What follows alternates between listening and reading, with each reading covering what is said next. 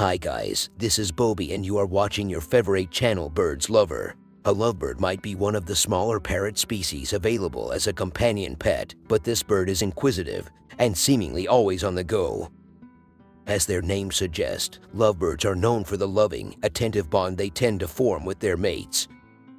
There are nine species of lovebirds, and all belong to the genus Agapornis, though only a few are typically available as pets, namely the peach-faced, masked, and Fischer's lovebirds. Lovebirds are so named because of their strong pair bonds. Lovebirds range in size from just over 5 inches to just over 6 half inches, which makes them among the smaller parrot species. Lovebirds have short, blunt tail feathers, unlike budgies, which have long pointed tails, and lovebirds are also stockier.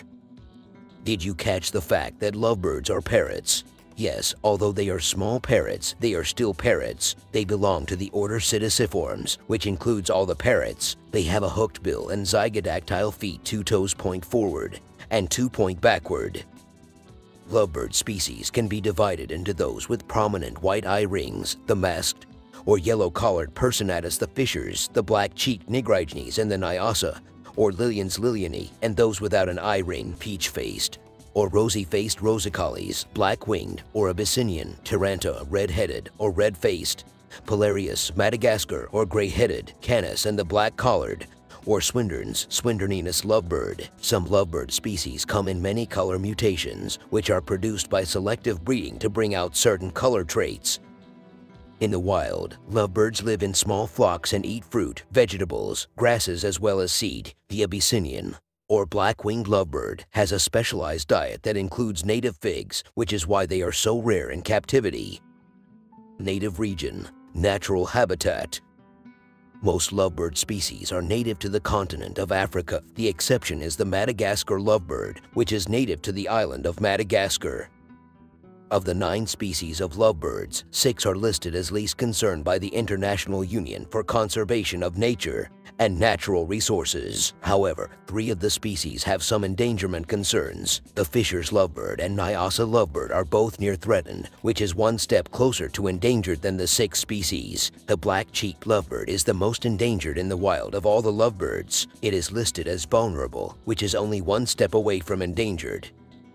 Care and feeding like most birds, lovebirds love to exercise and require the largest cage that your budget and space can afford. Lovebirds that are cooped up in a small cage and never given any freedom tend to become neurotic and can develop self-mutilating habits. Toys are a must for these active parrots. Keep in mind that lovebirds are strong chewers, so choose toys that can stand up to chewing without causing a hazard. With proper care and a well-balanced diet, a lovebird can live between 12 and 15 or more years.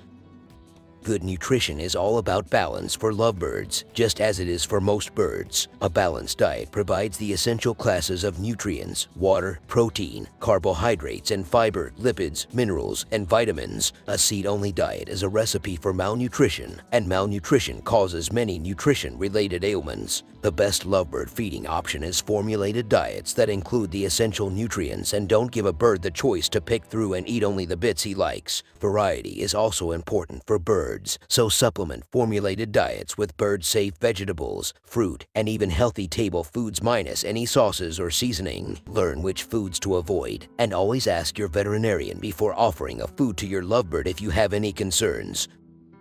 Lafeber Nutri-Berries and Avi Cakes are great ways to provide balanced nutrition while also increasing interaction with food. This is nutritious foraging, which promotes better physical and mental health, personality, and behavior. Lovebirds might be small, but they are bold, inquisitive, curious, and always on the go. Many people believe lovebirds come in pairs because they are often see photos of two lovebirds cuddled up against one another. No doubt, a lovebird often forms a deep bond with another lovebird. Potential owners should be aware, however, that a lovebird pair might choose not to interact with people as they will be thoroughly focused on each other. A single lovebird companion needs plenty of social interaction with the people in his, her life, as well as plenty of of busy work in the form of toys and safe items to chew up and destroy, a female lovebird can become highly defensive of her territory. Speech and sound Lovebirds are a chatty bunch, singing and whistling all day long. Check out this YouTube video by Relax with Nature that captured an hour of lovebird sounds. Lovebirds are especially vocal at dawn, and dusk. With all that vocalizing, you might think that lovebirds talk. Well, lovebirds usually do not talk in the way you expect. They talk to each other, but not so much to people. Although they are not known for their talking ability, their song is pleasant, more so than many other companion parrots. The more lovebirds you acquire, the noisier they will become. They are flocking birds in the wild and love to talk to one another. Health and common conditions Lovebirds are susceptible to chlamydiosis, self-mutilation as well as nutritional deficiencies related to an inadequate diet, especially if fed a mostly seed diet. Get a lovebird Lovebirds are readily available in most pet stores, as well as from bird breeders. The cost to buy or adopt a lovebird varies. Where you buy or adopt your lovebird from, your geographic region, rarity, and whether the parrot is hand-tamed are some factors that can affect the price. Although the price varies, they usually cost less than parrot species that are large or those that are rare. A random internet search showed prices ranging from $45 to $200. Do lovebirds make good pets? Only you can decide. Consider the bird's needs and personality to know whether a lovebird fits nicely into your life. Thanks for watching my video. Don't forget to like, share, and subscribe my Birds Lover channel. Stay tuned. See you in the next video. Until that, take care and bye-bye.